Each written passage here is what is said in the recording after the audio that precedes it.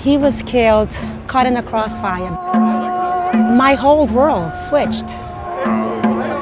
I just can't believe it. I can't believe all these kids. Every single night, somebody's getting killed. We are here today to honor the mothers who stand boldly for peace and hope. A couple of months ago, a human hurricane by the name of Tina Chéry blew into our studio. When Tina Chéry asks you, Are you going to be at the Mother's Day March? She's not asking you.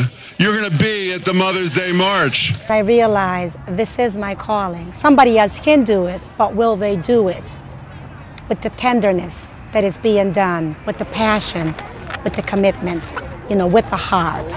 Well, I have loved getting to know Tina. I really mean it. It has really meant a lot to me.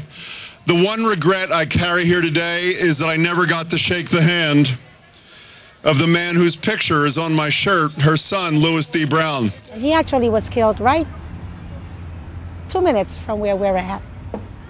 And he was caught in a crossfire between two rival gangs.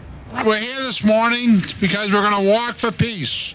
So the Peace Institute can continue their work. Our elected officials, our clergies, for them to shift the mindset, to put the resources back into the community so that the community can uplift itself because we're doing the work.